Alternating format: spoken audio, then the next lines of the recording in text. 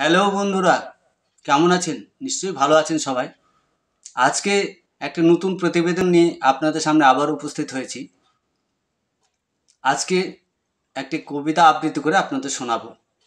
আশা করি ভালো লাগবে, শুনবেন, দেখবেন। কবিতাটির নাম নবাবগঞ্জের ঘাট, সঞ্জয় কুমার চক্রবর্তী জলপাইগুড়ি। নবাবগঞ্জের ঘাটেতে গেছি সেদিন বেড়াতে, চিনু আমার গাড়িতে। বাংলা বর্ষের প্রথম মাস সোনালি এক বিকেলে ধুলোবালির মেঠো পথ, খানাখন্দে ভরা, চারিদিকে সবুজ খেতি, ঘুরে ঘুরে চলা। আধুনিকতার ছোঁয়া নেই, নবাবগঞ্জে নবাব নেই, বিজলি বাতির দেখা নেই তেসোয়ালিতে ভরা। দাওয়ায় বসে বিদ্যেচরণ টানছি হুকো আমেজ মতন।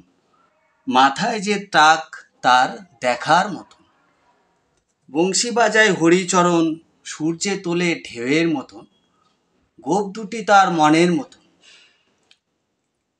কলা বাগানের পাশের নদীটায় নবাবগঞ্জের ঘাট সেটা। জল আনিতে চলেছে ঘাটে, দিয়ে ঘোমটা গৃহবধূটা।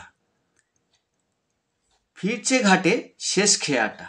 প্রাচীর ঘেরা লাল বাড়িটা সীমান্ত বাহিনীর অফিস সেটা। এই নদীটায় দেশের প্রান্ত, ওপারেতে কাটা তারের বেড়া।